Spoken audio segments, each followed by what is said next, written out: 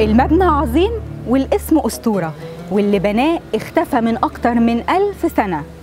جامع الحاكم بأمر الله. جامع الحاكم يعتبر تاني جامع يتبني في القاهرة بعد الأزهر الشريف.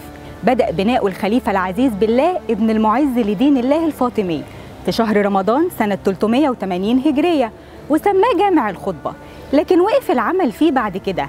لحد ما كملوا ابنه الخليفة الحاكم بأمر الله وافتتحوا للصلاة في 6 رمضان سنة 403 هجرية وتسمى بجامع الحاكم وأحيانا بيطلق عليه جامع الأنور. من ناحية التصميم بيجمع الجامع بين عناصر أفريقية ومصرية فتخطيطه بيشبه تخطيط جامع أحمد ابن طولون صحن مكشوف بتحيط بيه أروقة ومن الصحن للمحراب مجاز بينتهي بقبة عظيمة غير قبتين في أقصى اليسار وأقصى اليمين. أما بقى مدخله الرئيسي فبيشبه مدخل جامع المهدية اللي بناه الفاطميين في تونس وهو عبارة عن برجين بارزين عن الجدار بحوالي 6 متر.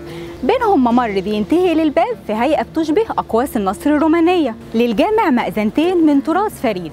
اتبنوا من الحجارة على شكل محور أسطواني بتحيط بيهم كتلة مربعة تم إضافتها للمأذنتين لحمايتهم بعد الزلزال اللي حصل سنة 702 هجرية.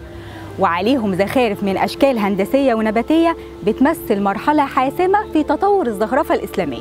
خلال تاريخه اتعرض الجامع للتخريب أكتر من مرة وكان مهجور قبل وصول الحملة الفرنسية وفضل لم تقام فيه شعائر الصلاة حتى تم تجديده مرة أخرى وتم افتتاحه للصلاة سنة 1980 ميلادية. دي كانت حكاية الجامع.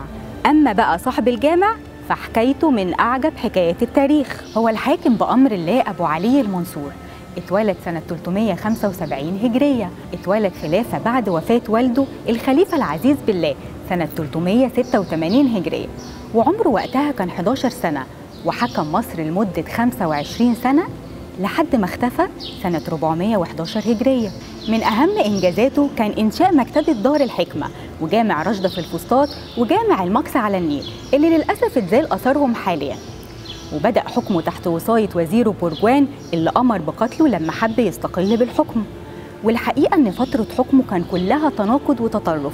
ضيق فيها على أهل الذمة وضيق على أهل السنة كمان. في أوقات كان بيحرمهم من إقامة شعائرهم الدينية وأوقات تانية بيسمح بيها.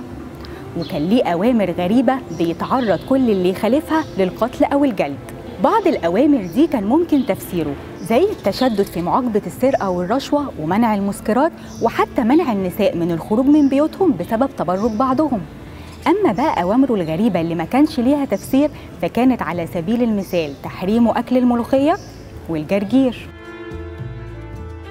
طول فترة حكمه ما سلمش حد من وزرائه ولا قضاته من القتل ولما جه دعاة من الفرس إلى مصر وأعلنوا تأليه الحاكم لا منحهم ولا شجعهم وفي الفترة الأخيرة من حياته اتجه للزهد وأكثر من الخروج بالليل لوحده. وفي ليلة خرج لجبل المقطم وما رجعش. وفضلوا يدوروا عليه أكتر من خمس أيام لحد ما لقوا ملابسه عليها آثار طعنات لكن لم يعثر على الجثمان أبداً. كثرت الأقاويل واختلف المؤرخين في سر اختفائه لكن أكتر الروايات رجحت تآمر أخته ست الملك على قتله إنقاذا للبيت الفاطمي من تصرفاته ولضمان انتقال السلطة بشكل سلس إلى ابنه الخليفة الظاهر. لكن هتفضل حكاية اختفاء الخليفة الحاكم بأمر الله لغز إلى الأبد والغريبة إن بعض أتباع مذهبه مستنين رجوعه لحد النهارده.